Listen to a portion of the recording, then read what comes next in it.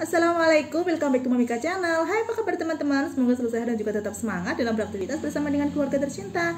Teman-teman, kali ini saya mau berbagi resep es gempol pleret.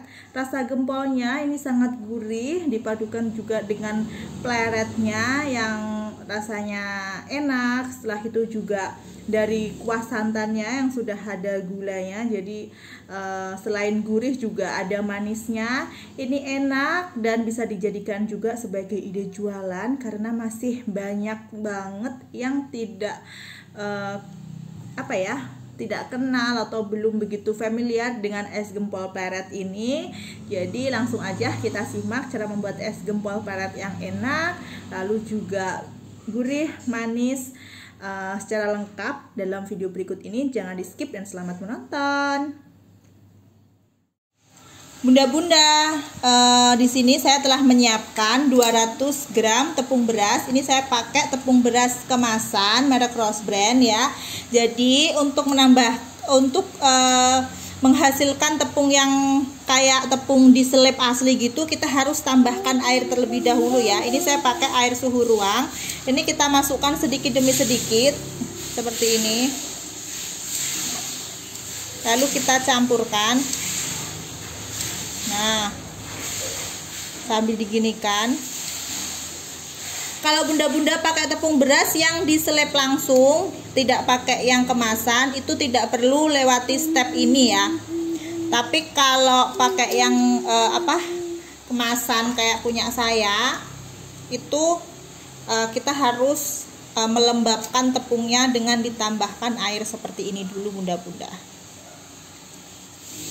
Nah bunda-bunda ini kita bisa lihat ya uh, tekstur dari tepungnya sudah mulai lembab. Ini untuk airnya saya pakai 60 ml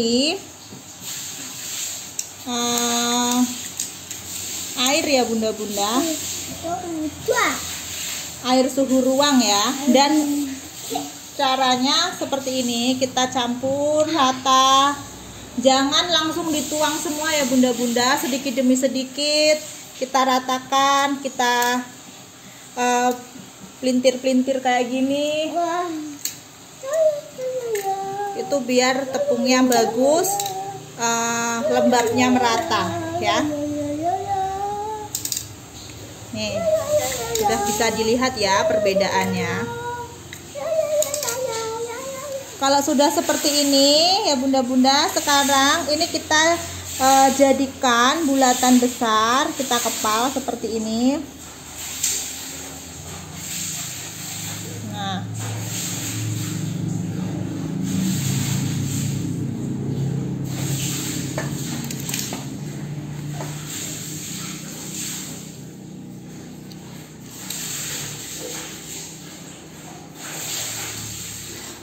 Setelah jadi bulatan sekarang kita kukus ya bunda-bunda ini kita bulat-bulatkan besar gini. Ini kita kukus selama eh, uh, 20 menit. Ya ini kondisi airnya sudah mendidih ya bunda-bunda.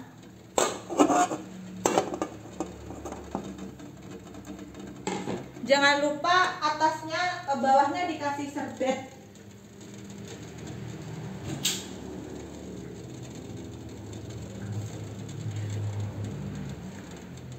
untuk tutup kukusannya biar airnya tidak jatuh ya bunda-bunda.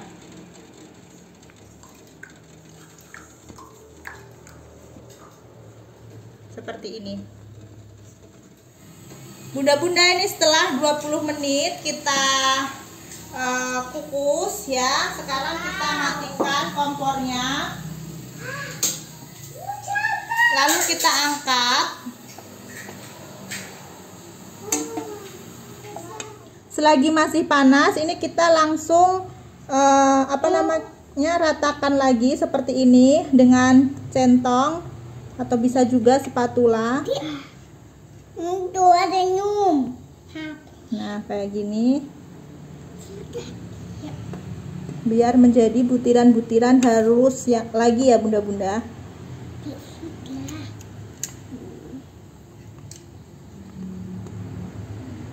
Setelah rata seperti ini ya bunda-bunda ini kita bagi menjadi dua.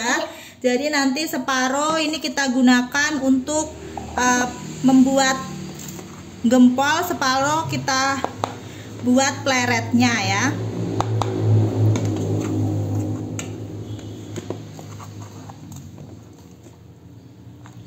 Nah jadi nanti kalau dibagi e, itu karena tadi kan 200 gram ya tepung berasnya itu berarti sama rata 100 gram 100 gram nanti ya.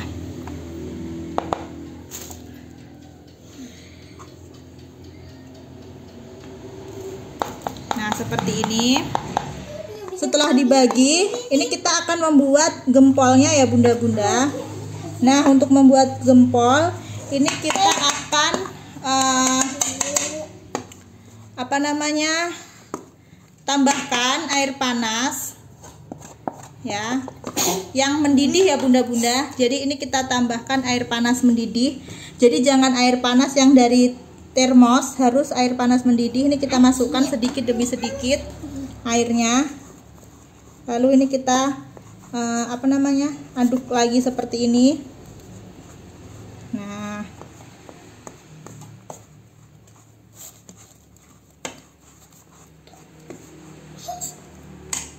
tambahkan lagi.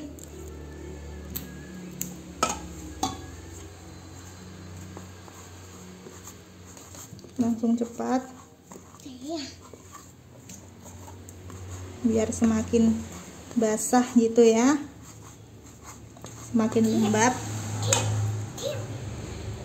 Nah ini setelah uh, dikasih air panas mendidih. Untuk air panasnya saya menggunakan sebanyak 65 mili air panas mendidih ya bunda-bunda. Tapi tetap disesuaikan dengan kondisi ketika kita membuat apakah sudah terasa lembab atau belum. Kalau belum bisa ditambah tapi kalau sebelum 65 mili sudah lembab bisa dikurangin seperti itu ya karena kondisi tepung itu biasanya berbeda-beda.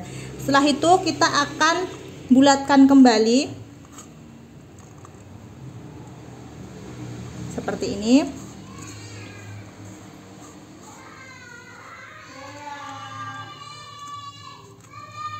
kita bentuk menjadi bulatan besar.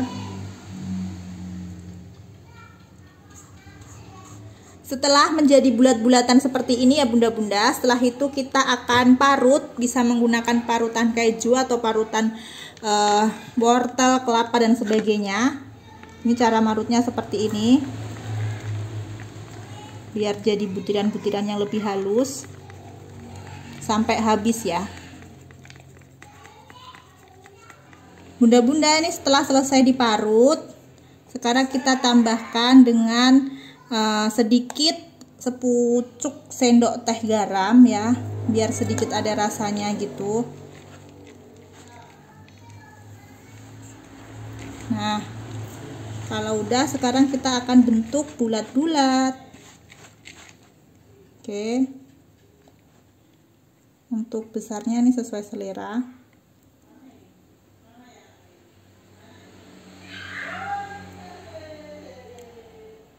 Jangan terlalu ditekan biar tidak hancur ya. Bunda-bunda setelah selesai dibulat-bulatkan seperti ini jadinya ya. Sekarang kita akan kukus kembali. Siapkan kukusan yang telah dipanaskan.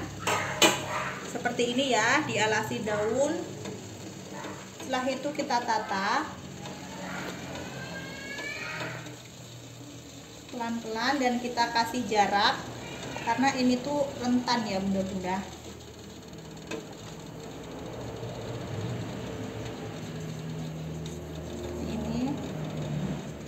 Bunda-bunda ini setelah saya masukkan semua dan ditata sudah rapi Sekarang kita akan kukus selama 20 menit ya. Nah bunda-bunda selagi kita nunggu gempolnya matang kita akan membuat pleretnya. Jadi ini uh, yang separuh tadi ya yang 100 gram tadi tepung berasnya. Sekarang kita tambahkan dengan uh, sedikit garam sepucuk sendok teh seperti itu. Dan kita juga akan tambahkan dengan air panas. Nah air panas yang mendidih ya bunda-bunda. Kelihatan kan ini baru e, mendidih uapnya masih e, terasa ya. Ini kita campur rata sampai bisa dibentuk. Nah ini sudah menjadi adonan yang bisa dibentuk ya bunda-bunda. Ini saya pakai airnya sebanyak kurang lebih 65 ml air panas mendidih tapi ini tetap disesuaikan dengan kondisi eh, tepungnya ya. Bisa ditambah atau dikurang gitu. Sekarang ini saya mau jadikan dua bagian karena saya mau kasih uh, pewarna dua ya. Setelah itu kita kasih pewarna sesuai dengan selera mau warna apa aja bisa. Ini pertama saya mau kasih warna hijau. Ini saya pakai pewarna dan perisa pandan ya bunda-bunda. Biar ada aroma pandannya. Kita campur rata.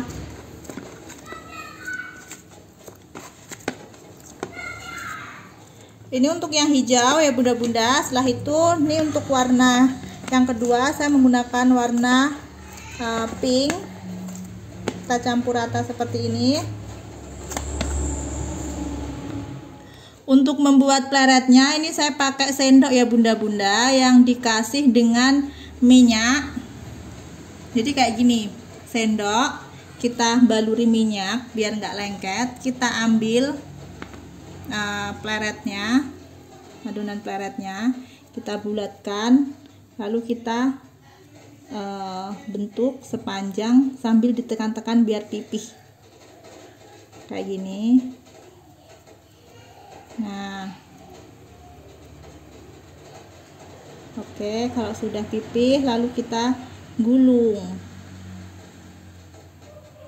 Oke seperti ini ya. Ulangi cara yang sama sampai semuanya habis. Bunda-bunda ini setelah 20 menit kita kukus. Bisa dibuka ya. Ini sudah matang. Wah bagus sekali. Setelah itu ini siap untuk kita angkat kita pindahkan ya. Bunda-bunda ini hasilnya ya. Sudah jadi sudah dibentuk semua. Dan sekarang kita akan kukus.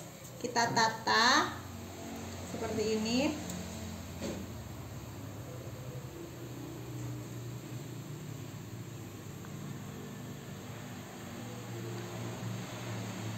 ini kita kukusnya uh, selama 30 menit ya bunda-bunda.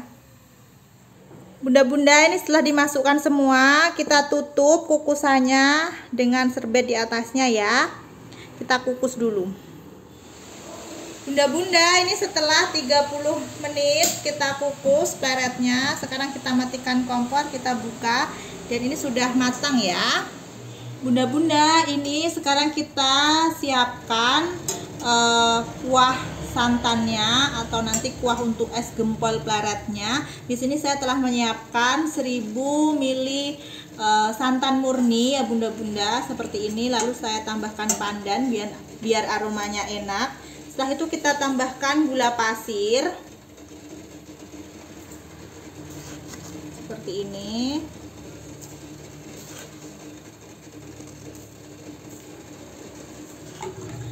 Nah, ini saya pakai gulanya sebanyak 9 sendok makan ya bunda-bunda. Tapi kalau bunda-bunda lebih suka manis gitu bisa ditambah. Kalau kurang suka manis bisa dikurangi. Seperti itu ya bunda-bunda. Setelah itu kita tambahkan dengan garam secukupnya. Yang agak terasa ya garamnya. Biar nanti itu perpaduan antara gurih ada manisnya dan juga ada sedikit asinnya gitu. Tapi jangan sampai keasinan juga ya. Nah kalau sudah seperti ini tinggal dites rasa. Dan jangan lupa kita aduk terus biar santannya tidak pecah ya. Kita tunggu sampai mendidih. Bunda-bunda, ini sudah saya tes rasa, rasanya sudah enak dan ini sudah mendidih. Sekarang kita matikan kompornya ya. Ini sudah siap disajikan dengan gempol dan pleretnya.